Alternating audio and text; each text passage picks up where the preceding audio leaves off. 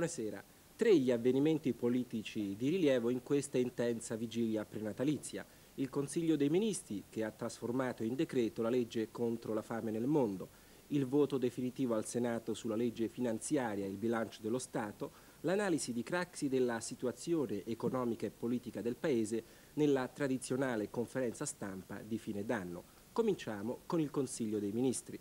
La trasformazione in decreto della legge contro la fame nel mondo, approvata, ricordiamo, ieri sera dalla Camera a larghissima maggioranza e passata all'esame del Senato, è stata decisa per consentirne la rapida attuazione come richiede la particolare urgenza del problema. Prima del Consiglio dei Ministri c'era stato in proposito a Palazzo Chigi un incontro di Craxi con il Presidente della DC Piccoli.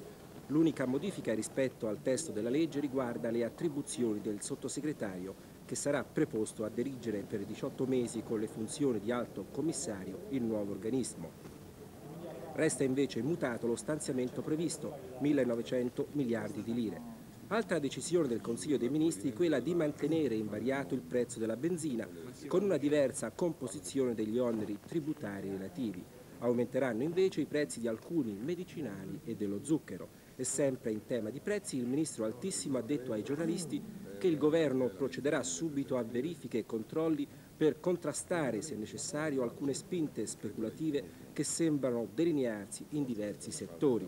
Rincari come quelli preannunciati, ad esempio, per i listini dei bar, non hanno, secondo Altissimo, alcuna motivazione nelle nuove norme sull'IVA previste dal decreto fiscale. Fra le numerose decisioni adottate stasera dal Consiglio dei Ministri c'è anche la nomina del nuovo comandante della Guardia di Finanza, Renato Lodi, in sostituzione del generale Chiari.